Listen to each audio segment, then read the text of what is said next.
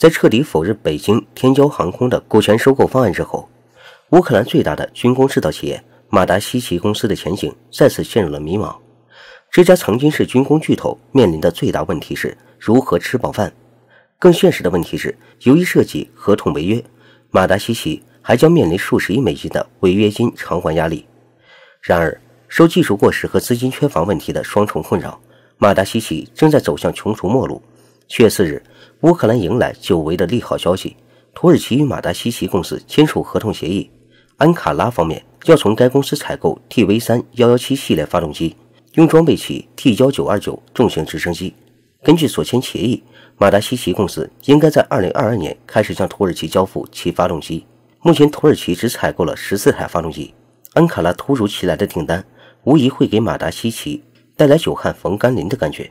但是，来自安卡拉的书写订单只是暂时缓解困境，无法让马达西奇公司看到可以期待的远景。唯一令基辅有所期待的是，土耳其是北约国家，也是目前能为马达西奇公司找到的最理想的新婆家。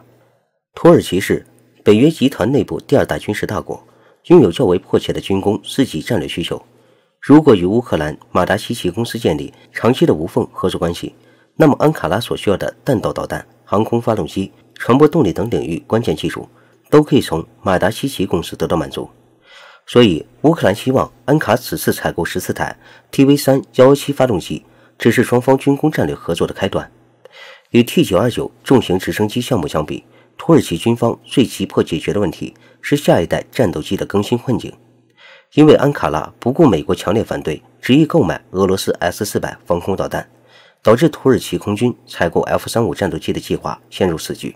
不服输的土耳其人希望通过自主研发第五代战斗机来化解这个难题，但是土耳其军工企业只有组装和维修 F 十六战斗机的能力。如果与乌克兰合作，不但加快了国产五代战机的研发装备进度，同时还可以在陆装和海装领域获得前所未有的突破。马达西奇公司的大型燃气轮机可以为土耳其自主研发的万吨级舰艇提供动力。不过，美土关系的不确定性，同时可能威胁双方的合作前景。更重要的是，土耳其在装备领域中短期内难以摆脱对美欧的依赖。俄罗斯航空网站的主编潘杰列耶夫称，在新发动机供应大幅减少的背景下，T929 直升机订单的出现可以确保马达西奇在未来某段时间内保持销售额。潘杰列耶夫表示，在停止对俄供应的背景下，马达西奇迫切需要一个稳定的发动机销售市场。然而，除了中国，没有其他国家能够大批购买乌克兰发动机。很显然，潘杰列耶夫并不看好马达西奇与安卡纳方面的合作前景。俄罗斯专家表示，虽然基辅愿意不惜一切代价融入西方阵营，但是马达西奇公司的军工技术和产品无法在那里找到市场，从而无法获取研制新技术、新装备的资金支持。中国有雄厚的资金，还是马达西奇最大的客户，只有中国有能力救活马达西奇。事实上，这一切的现实问题，乌克兰人并非看不明白，只是为了取悦美方，不惜背信弃义，单方面毁约。令乌克兰人既伤心又无可奈何的是，在基辅单方面毁约后，美国也旋即改口称无意收购马达西奇公司。俄罗斯媒体评论称，美国和欧洲都拥有完整的军事工业体系，对乌克兰军工技术丝毫不感兴趣。他们最大的希望就是马达西奇公司彻底破产垮掉，以免未来会被俄罗斯重新重用。而且失去了国产军工装备支持后，乌克兰军队未来也只能从欧美采购武器装备，并对美欧军事装备产生难以摆脱的战略依赖，最终成为北约附属。土耳其其实已经向乌克兰推销了攻击无人机，现在安卡拉希望 T 九二九重型直升机得靠马达西奇公司发动机款项实现所谓的共赢。应该说，按照乌克兰现在的经济状况，他是没办法经营下去的。那么多工人以及设计人员的工资由谁来发放？你生产出的产品谁来买？俄罗斯不仅不买他的产品了，中国现在也很难买他的产品，怎么办呢？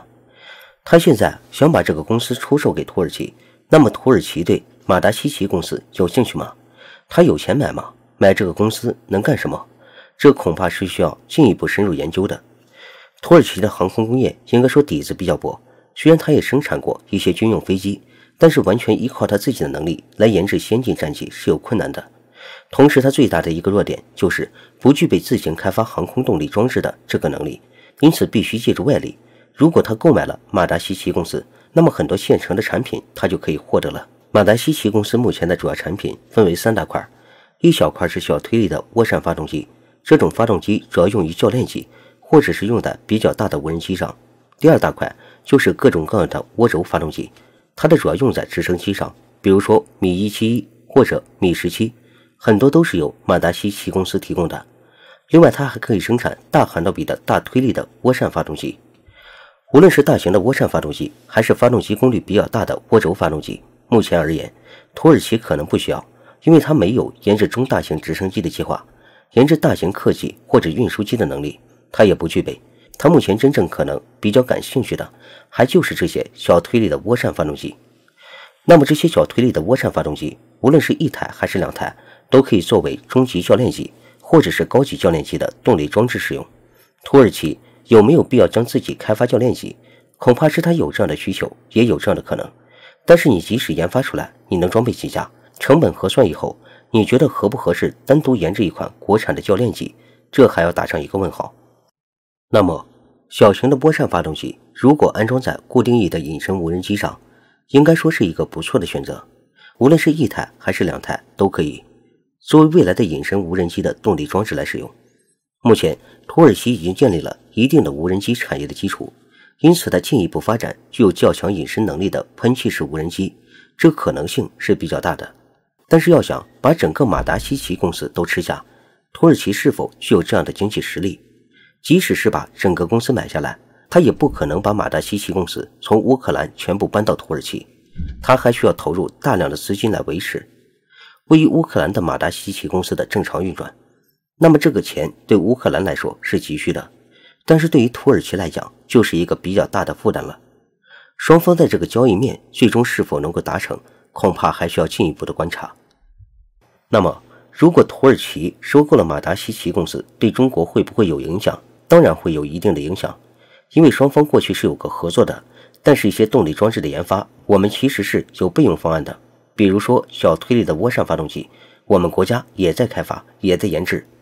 当然，你有现成的又比较便宜，我们直接买来用也可以。如果这条路堵死了，行不通，那么依靠我们自己的努力，适合于教练机和无人机所使用的这些小推力的涡扇发动机，我们一定也能够搞出来。因为它的研发速度总是要比目前国家正在开发的高推重比的涡扇发动机要相对容易一些。经过中国航空发动机人的努力，各种各样的成系列、成体系的发动机，或者是航空动力装置，一定能够搞出来。只不过时间可能要稍微推迟一点。因此，不管美国政府在后面使什么坏、捣什么乱，想要阻止中国航空工业、航空发动机产业的发展和进步，是很难达成的。而中国的航空发动机产业，随着我们的技术进步、产品的增多，我们会不断的跃升，以满足我们军用和民用飞行器的需求。另外值得一提的是，前不久信威集团和天骄航空公司还曾经因为乌克兰政府的阻挠发起国际仲裁，以违法阻止正常收购企业为由，向乌克兰政府索赔达三十五亿美元。如果如今乌克兰政府自己变成了国家级的老赖，乌克兰当局做出这个决定背后，究竟是受到了来自谁的压力，是可想而知的。